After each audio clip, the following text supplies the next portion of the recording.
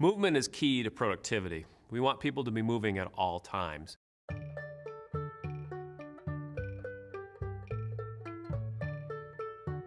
The classic studies about sitting and standing have shown that those people who sit all day are at high, as high a risk of back injuries as those people who stand all days.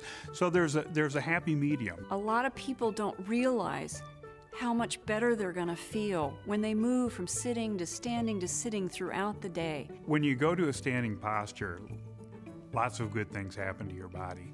Your spine takes on that S shape, which is good for the discs in the spine, it's good for the muscles in the back, it's good for your legs. With sit to stand, it's all about practice.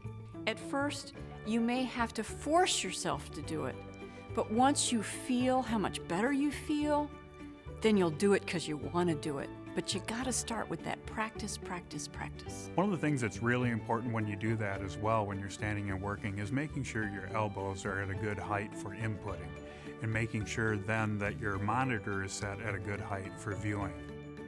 What we need now is to be able to have the work come with us and the furniture come with us to be able to move for those standing postures. So having that sit to stand capability in our furniture, especially those people who sit for long periods of time at work, is very important.